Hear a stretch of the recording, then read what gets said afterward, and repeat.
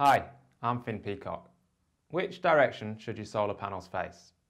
Well, in an ideal world, to maximise uh, the, the power output of your panels, they should be facing north.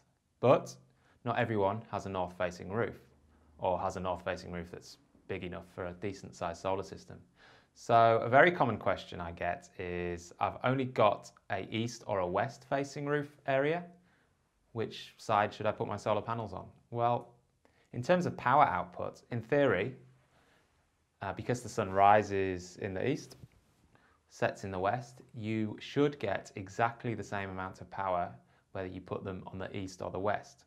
But it's almost always the case that you're better off putting them on the west. Why is that? Because if your panels are on the west, you will generate your solar electricity later in the day. Now, why is that a good thing? Because generally, uh, most Australian homes use more electricity in the afternoon. Generally, there's more people in the house, they're coming home from school, and you'll use more electricity later in the day than you'll use earlier in the morning. Why is that a good thing? Well, in most parts of Australia, you want to minimise the amount of solar electricity you're exporting. Why?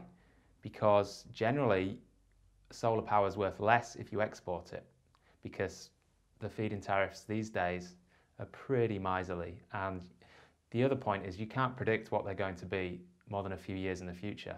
But if you're using the solar electricity yourself, you know that you're offsetting the current electricity tariff, which is you know going up every year. And you, so your solar energy is going to be more valuable if you generate it later in the day.